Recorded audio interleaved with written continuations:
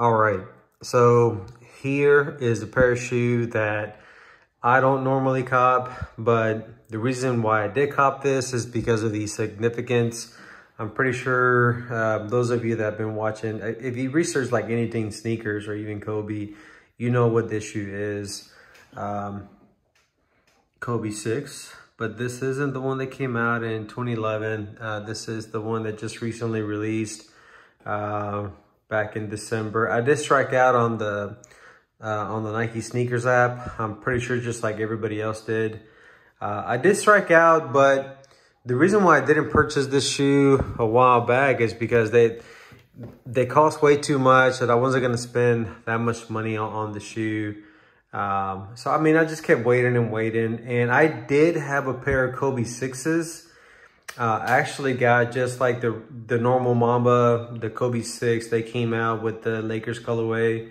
Uh, I was able to purchase them at a uh, Foot Locker at Highland Mall here in Austin, Texas, uh, back in 2011. Literally just walked in, uh, asked for my size, and they had them.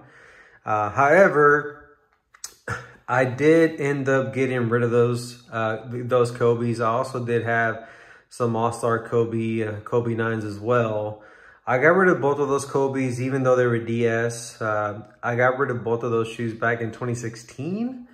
And the reason why I got rid of both of those shoes was simply because at the time, uh, I was just strictly into Boost. As soon as I wore my first pair of Ultra Boost, uh, I started just I started just getting rid of everything that wasn't Boost, to be honest with you.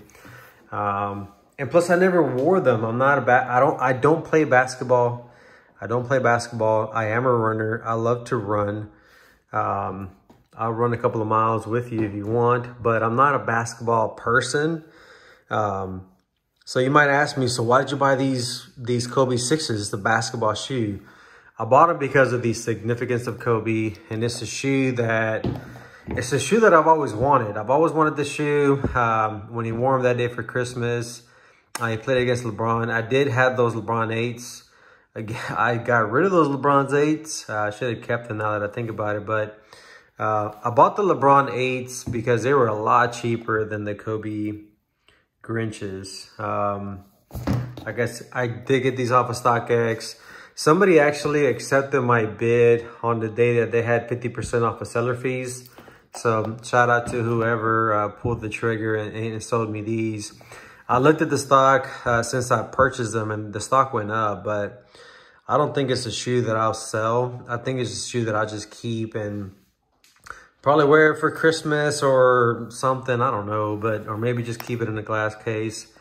Um, but I, I had to get them. I put a bid up there, not thinking that somebody was going to accept it. And I knew what the price was. I knew what the price is going to be. But um, it's a shoe that I've always wanted. I just didn't get it. And um, and I guess just like everybody else, ever since his passing, I've been trying to get the get some Kobe shoes just to have them in my collection. And uh, not knowing what what happened, uh, I probably would have kept the other ones too, just because, and not try to resell them. Just like everybody's trying to sell these Kobe Kobe shoes and Kobe merches for high high prices, I would have just most likely kept them, and I didn't sell them for what they're going for now. Uh, I don't I don't regret it. We live and we learn, right? But this is this is a pair of shoe that I wanted. Um, I'm probably not gonna wear it.